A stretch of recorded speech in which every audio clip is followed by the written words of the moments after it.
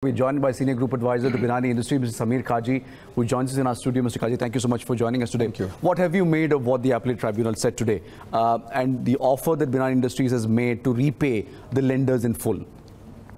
You know, just to tell you, there are two, three aspects. Like today's decision at the tribunal in Delhi is just a continuation of what the NCLT in Calcutta mentioned last week.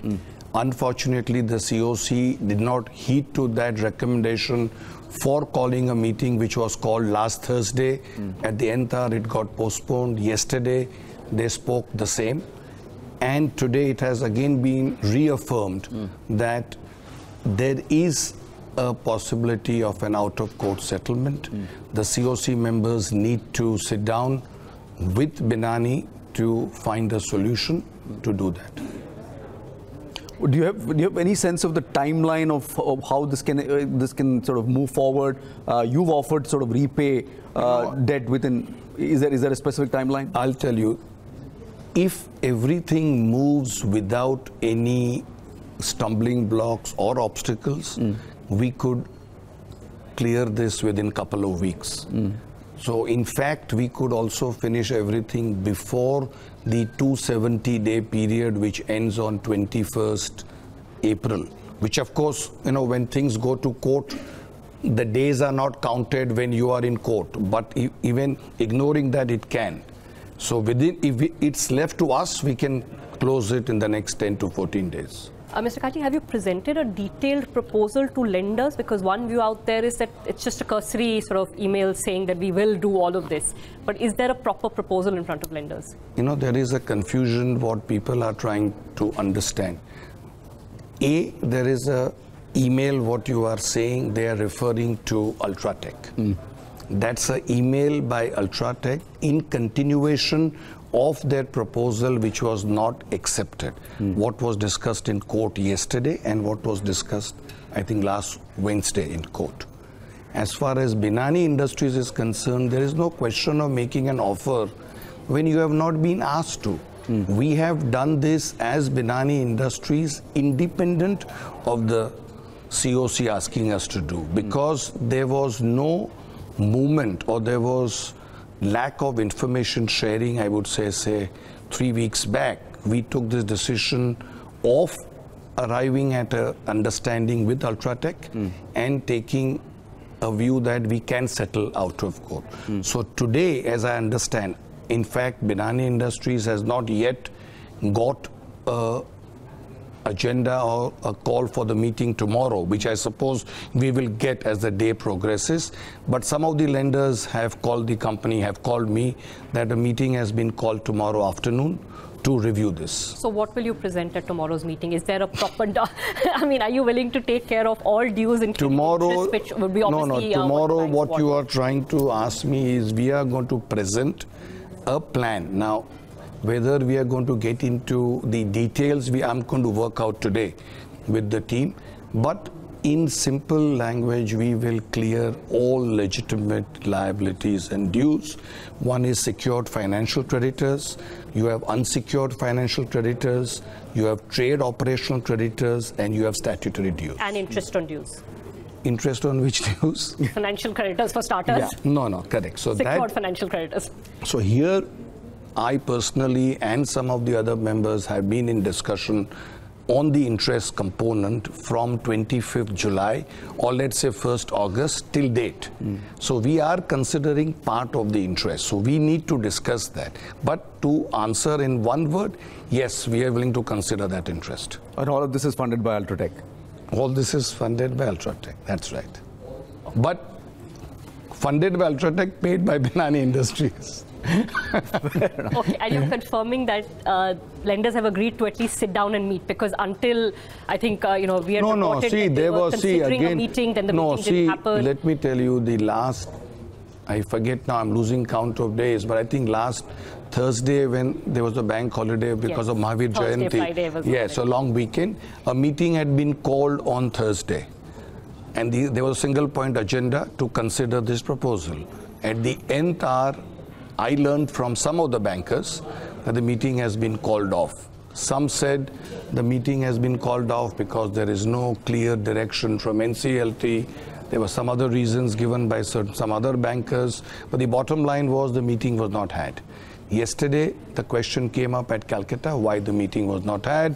That is when the email issue came. So that's the Ultratech issue. And my point is not, nothing to do with Ultratech, but when a company A gives a proposal, which for whatever reason is under discussion, for saving time, if you were to send an email to all the lenders and part of the lenders have accepted and opined on that email, then it's just an excuse that an email was sent and a proposal was not sent. Because out of X lenders, X minus some had already opined on that email. So that means everybody has got the email and it was discussed at the 14th March meeting offline. so I'm just going to say that. A couple of other questions. So there's this issue of whether there is a winding up petition against Binani Industries that was either admitted or accepted. Can you give us any clarity there and See, whether I'll- that has a bearing on this? See, I'll just tell you in a very limited way. Yes. There was a winding up petition by one of the creditors Against Binani Industries. and against Binani Industries, which has been settled out of court in end Jan, early Feb. We, all, we have already entered into settlement plans. The affidavit regarding that has not yet been filed, even though it is ready, because the Calcutta High Court, I think, was not working for X number of days. So it may have been done today if it's on or whatever. But the piece of paper has been signed by both the parties. One third of the settlement amount has been paid and accepted by the creditor. So, the, so there is no issue there now. So there is no administrator in place. I mean, I think Yeah, yeah, yeah. yeah. The, bot- make a decision the bottom line is Binani Industries is competent to enter into a contract. Yes. So, I mean, that's the answer to answer your simple question. Okay. I have one conceptual question. Assuming now lenders sit down with you after the NCLAT's uh, direction, uh, if that is what uh, the right word to use. Uh, but it then does raise a question about all of the insolvency process that are, uh, are in play. You go through an insolvency process, you come to an agreement, and then someone from the outside can come and say that, look, I have a better offer, consider it. Now, I have another question to you. Yes.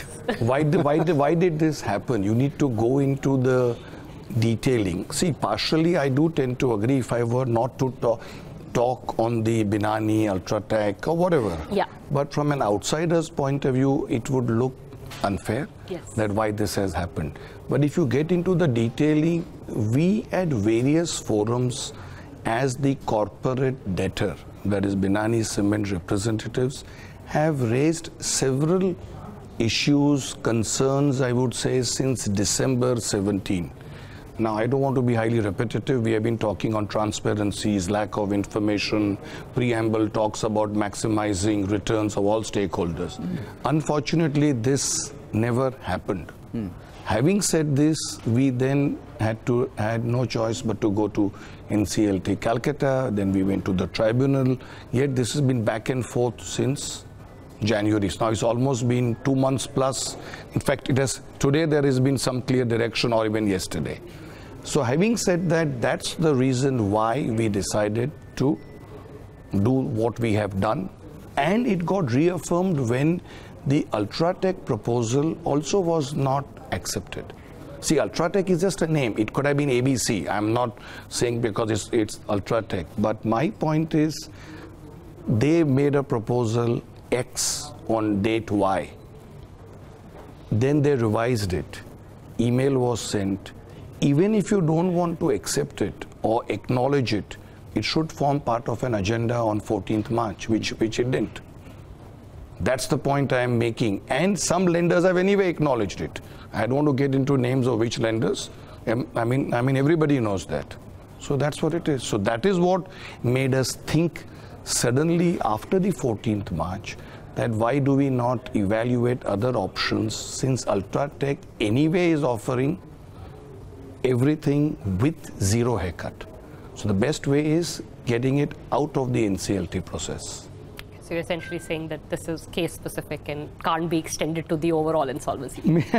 So- That's your contention. No, and there are certain, what I understand is there are, on a much smaller accounts or smaller liabilities, there are certain Supreme Court judgments where the Supreme Court has said you can settle out of NCLT. May not be to this magnitude where we are talking of a billion dollar, you know, settlement, much smaller exposure, but there has been.